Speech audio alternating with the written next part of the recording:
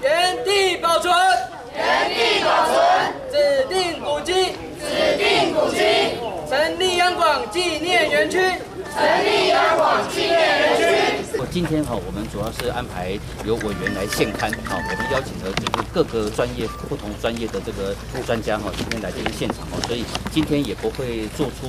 任何的明确的决定哈。那我们会请委员现刊以后，那我们就现刊的状况，会再进一步请委员哈，再提出相关的意见。那我们最后再会再跟县长做报告以后，才会做出最后的决定。就是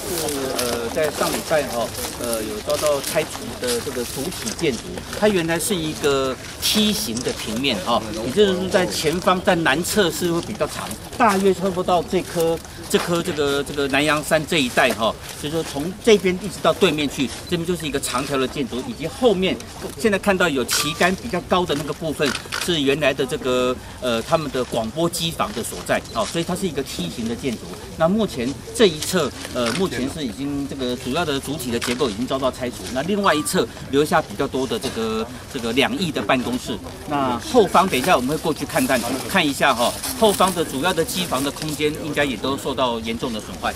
啊，呃，呃文化处哈，在这个部分我们也有督导不周哈，这个监管不周的这个责任，那所以有出现这个憾事，可是我想县府现在就这个憾事哈，我们希望能够呃能够好好的来处置它啊，希望。今天我们邀请委员来现刊哦，就是这个道理。大家一起来看这栋建筑物哦，目前的这个呃这个目前的状况哦，它是否有补强建筑补强的可能性？它是否有持续继续呃保存的可能性？以及它未来如何补强、如何活化再利用的可能性？那我们今天应该通过今天的这个现刊以后，我们会进一步再邀请委员哈，在就这些课题，我们会做在这个会议室里面的讨论。呃，我们其实是呃一群对这样的一个历史建筑跟文化非常喜欢的朋友，那包括有学生，包括社会人士。那其实今天会来到这个地方，我们的诉求很简单，可以把这个洋广保留下来，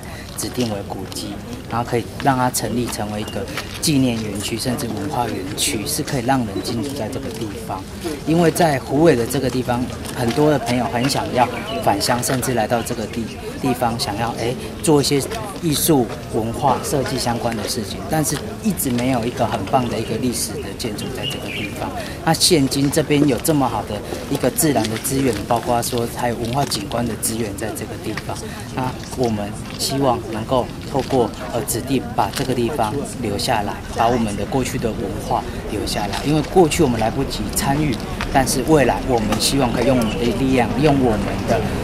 温度去。继续在这个地方生根。